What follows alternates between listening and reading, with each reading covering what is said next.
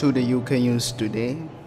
Today we news that Robert armed with machete carried out the terrifying shot raid while dressed as pantomime witch.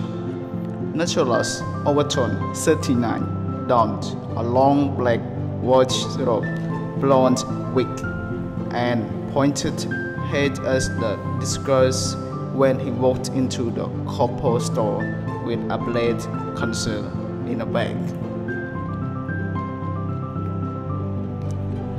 A witch rebel was jailed for the life for holding up shop dress and pantomime with fancy dress outfit. Nicholas Overton, 39, donned a long black witch robe, blonde wig, and pointed had as the disguise when he walked into a store. But a court heard wow, how history border. Overton also hid a machete in his black handbag as part of his fancy dress rouge. The black-clad William had traveled from more than 150 miles to stage a Brazilian hold-up and hoped he would escape with cash. Nacho was jailed for life for holiday after a shop armed with machete. Overton was dressed as a witch during the terrifying raid. Shocking CCTV footage shows the moment black-clad Overton Lotus near the stills before dramatically pulling out two feet blade. The clipped